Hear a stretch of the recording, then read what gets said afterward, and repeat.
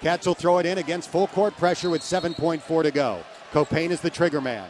Gets it into Kevin Johnson, who gives it back. Caupain dribbles past center court. Behind the back dribble. Two seconds left.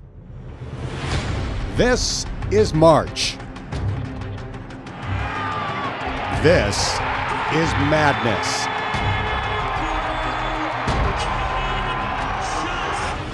Now the slate is clean. 68 teams are still alive. Each has a chance at glory. But only one will survive.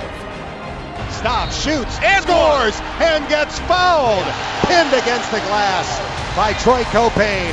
And it's a windmill dunk for Corey DeBerry. There's a collision. Shots up and in. Count the bucket. Three point shot, and it's a swish. His shot rejected by Clark. Evans with a wide open three.